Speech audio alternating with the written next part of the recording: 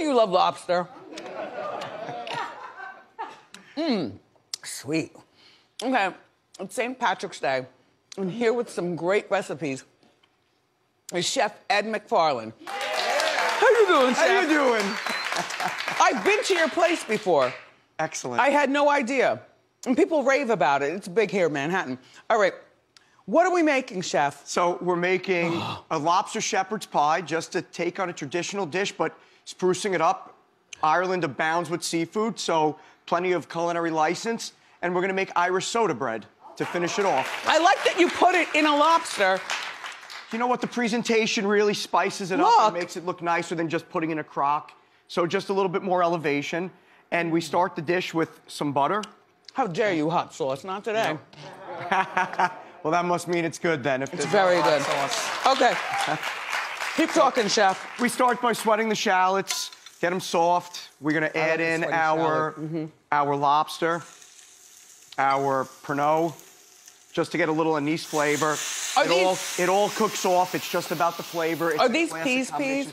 Those are peas, yes. What is Pernod? Pernod is just anise flavored liqueur. Okay. It cooks off in the uh, in the process, and Mm. it's just about flavor. Very classic, traditional dish. I'm so mixed up right now. We add a little bit more butter back in there because you have to have a lot of butter with lobster. Yeah. well. So Although I gotta tell you something, I only because I'm always watching my weight, so I don't break my chair. I um, I like the salt and pepper and a little Yep. garlic on it. you know what? That's a great way The to do butter it as well. interrupts and gets stains on my clothing. We do lobster any single way. But no, I'm it. dipping butter today. I mean, if you want to come down and have lobster Benedict, we can make your lobster Benedict for brunch, which is fantastic as well. Mm. Not so much a St. Patty's Day item like this, but it still works.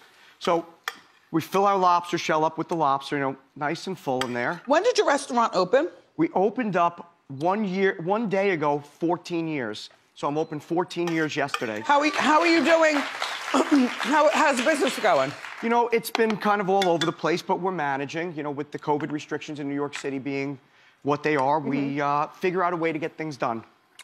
So, you know, we switched over, we pivot the business, take Are, are you gonna have green delivery. beer?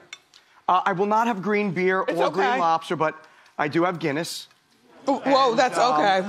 So you can't go wrong. Yeah. We sprinkle a little bit of breadcrumb on top of the lobster before we bake them. What do we put on top? A little bit of breadcrumb, Okay. just to get a little extra color. You know what else I like? I love capers. I find that they Well, are capers, the, the, uh, Oh the. Mm. salt in the capers is fantastic. It really brings everything up.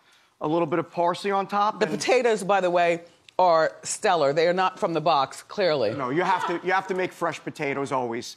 So onto the soda bread, which is a very simple recipe, but super sticky when you mix it. So be careful. You want to get all of your dry ingredients I'll over. together in the bowl and whisk them in.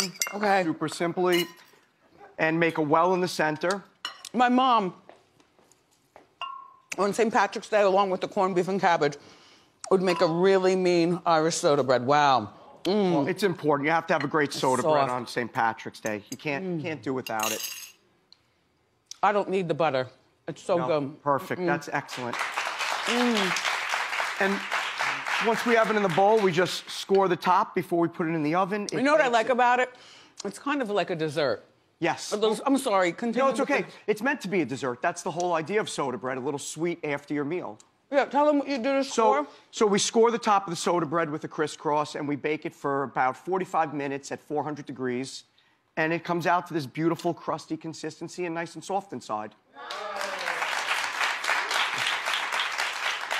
I want to thank you for being here. Well, thank you so much. I'm very excited and grateful to be here today. And, and the, the food is delicious.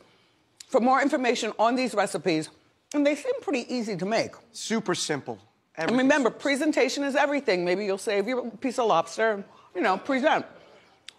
Go to wendyshow.com.